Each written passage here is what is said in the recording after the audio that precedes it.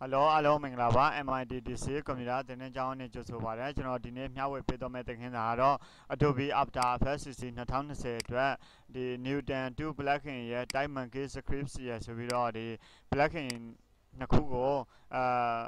install ဘယ်လိုလုပ်အောင်မလဲနောက်ပြီးတော့ အဲဒီ Adobe After Effects ထဲမှာဘယ်နေရာတွေမှာရှာလို့ရလဲပေါ့နော်အဲစနစ်ကြဘယ်လိုမျိုး install လုပ်မလဲဆိုတဲ့သင်ခန်းစာလေးကိုရှင်းပြပေးတော့မှာဖြစ်ပါတယ်ဒီဗီဒီယိုသင်ခန်းစာကိုမစတင်ခင်မှာကျွန်တော်တို့ရဲ့ YouTube channel ကို subscribe မလုပ်ရသေးတဲ့ညီကိုမောင်နှမတွေက subscribe လုပ်ထားပေးဖို့တောင်းဆိုပါတယ်ကဲဒါဆိုရင်တော့ကျွန်တော်တို့ရဲ့သင်ခန်းစာကိုစတင်လို့ရပါပြီ Newton 2 plugin ကိုဖွင့်ပါမယ်ဖွင့်လိုက်တဲ့အခါမှာကျွန်တော် down ထားတဲ့အဲဒါအဲ zip file လေးရှိတာပေါ့နော်အဲ့ဒီ zip file လေးကို right click ထား right click ထားပြီးတော့ extract here နဲ့ဖြည့်လို့ရပါတယ် extract here နဲ့ဖြည့်လိုက်လို့ရှိရင်ဒီလိုမျိုး file လေးတစ်ပိုင်းထပ်ထွက်လာပါမယ်အဲ့ဒီ file လေးထဲကိုဝင်မယ်ထပ်ဝင်မယ်ဝင်တဲ့အခါမှာကျွန်တော်တို့က window အသုံးပြုတဲ့လို့ဆိုရင်တော့ window ကို right click ထား copy ယူလို့ရပါတယ်အဲအကယ်၍ဒီနေရာမှာဒီမှာ file လေးတွေဒီလိုမျိုးတွေရှိတာပေါ့နော်အဲ့ဒါဒါကြတော့ right click ထား copy ယူပါမယ် copy ယူပြီးတော့ကျွန်တော်ကဒီ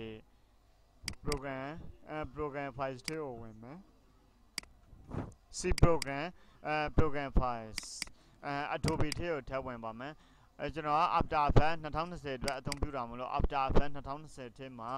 ဝင်ပြီးတော့ support files ကိုထည့်ဝင်ပါတယ်ဒါ plugin မို့လို့ပေါ့နော် plugin မှန်ဘယ်လိုသိရလဲဆိုတော့အာဒီ AEX ဆိုတဲ့ဟာလေးကဒါ plugin အဲ plugin ဖြစ်ပါတယ်ဒီလိုပုံစံမျိုးပေါ့နော်ဒီဒီပုံစံမျိုးရဲ့ဒါ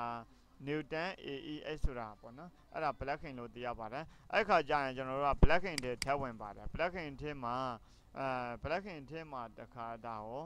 ကျွန်တော်ကအဲဒီ file ပေါ့နော်ဒီ file ကို right click ထောက် copy ယူပြီးတော့ right click ထောက် paste လာရှာမှာပေါ့နော် continue ကိုထိန်းထည့်ပေးရမယ်အဲဒါဆိုရင်တော့ဒီ Newton 2 Windows ဆိုတဲ့ဟာလေးကဝင်တော့ဖြစ်ပါတယ်နောက်ထပ်တစ်ခုကနောက်ထပ်ဒီမှာပေါ့နော်ဒီ ဒီ time monkey file ပေါ့နော် time monkey ထဲကိုဝင်ပါမယ် time monkey ထဲမှာဆိုရင် time monkey ထဲမှာဆိုရင်ဒီလိုမျိုး file လေးနှစ် file ရှိမှာပေါ့နော်အဲကျွန်တော်က monkey script ကို right click ထောက်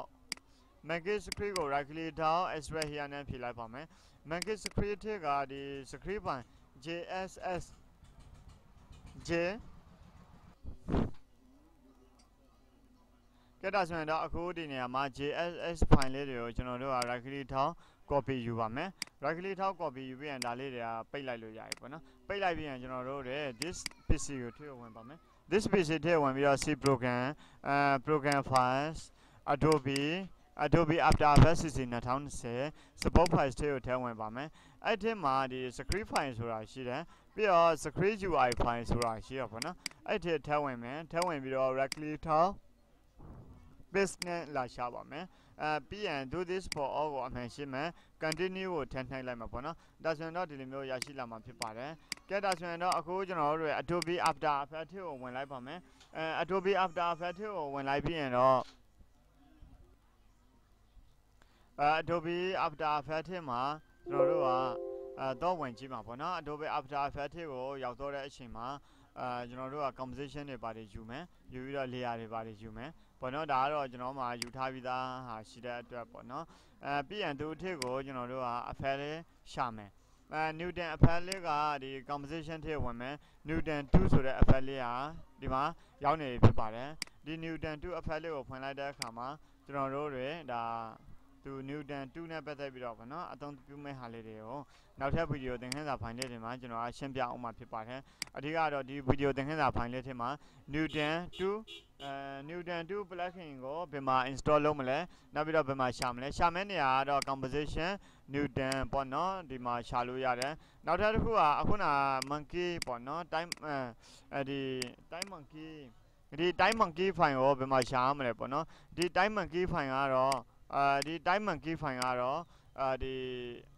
ဒီ window ကိုတော့မယ် window မှာဒီနေရာလေးမှာအာအော်ဒီ window ရဲ့အောက်ထက်မှာပေါ့နော် time monkey ရှိတယ် motion key ရှိတယ်အဲ monkey 2ရှိတယ်ပေါ့နော်နောက်ပြီးတော့ layer monkey ဆိုပြီးတော့ရှိတယ်အဲ့မှာဒီ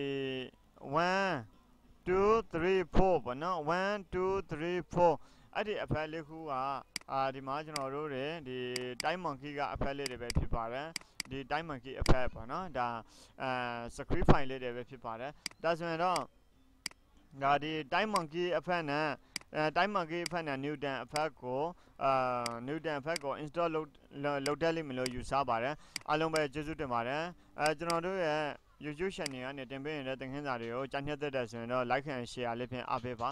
အာနောက်ထပ်ဗီဒီယိုသင်ခန်းစာဖိုင်မှာပြန်လည်ဆုံတွေ့ကြပါမယ်အားလုံး bye bye